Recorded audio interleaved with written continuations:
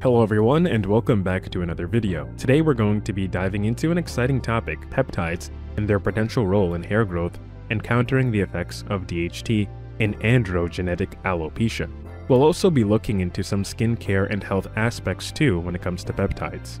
I am under the belief that scalp inflammation is important to treat as it would put the hair follicles in a good growth environment. Real quick though, please subscribe to the channel if you feel like these kinds of videos are helpful. Also, be sure to share it with a friend if you think the information would also help them as well. Finally, if you're able to, consider becoming a channel member for as little as $2 a month, or supporting through the Buy Me a Coffee link. All links to everything that I've said in the description below, as always. So, what are peptides? Now, before we get into the specifics, let's take a step back to understand what peptides are and why they play a crucial role not just in hair health, but also skin rejuvenation.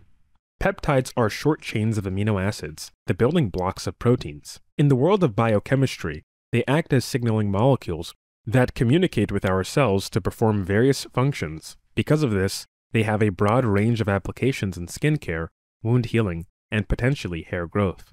Peptides can be classified based on their size and the complexity of their amino acid chains. Generally, they are categorized into oligopeptides, which are short chains consisting of 2 to 20 amino acids, and polypeptides, which are longer chains containing more than 20 amino acids. These distinctions are significant because the size and structure of peptides influence their stability, bioavailability, and their ability to penetrate the skin and interact with cells. Some peptides may consist of a single chain of amino acids, while others, like those in larger proteins, might have multiple chains that form more complex structures.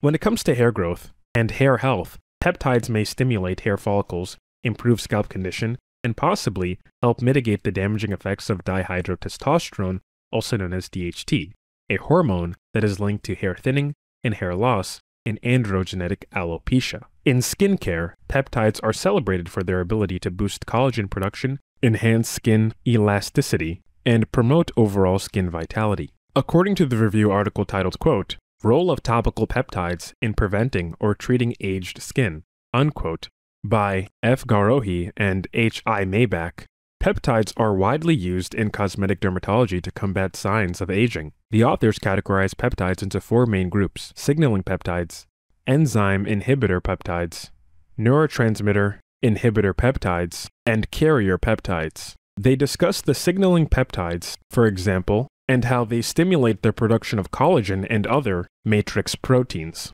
leading to firmer and more youthful skin.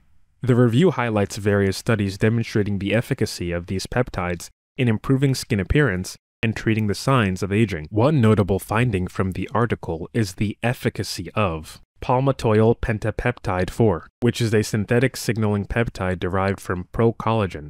Gorouhi and Maibach point to a paper by researchers Robinson et al., where it was observed that palmitoyl pentapeptide provides significant improvement in the appearance of aging skin with better scores in reducing fine lines and wrinkles compared to placebo. The authors also mentioned palmitoyl tripeptide 3M5, also known as Syn-Coll, which is a man-made ingredient that copies a part of a natural protein called thrombospondin 1.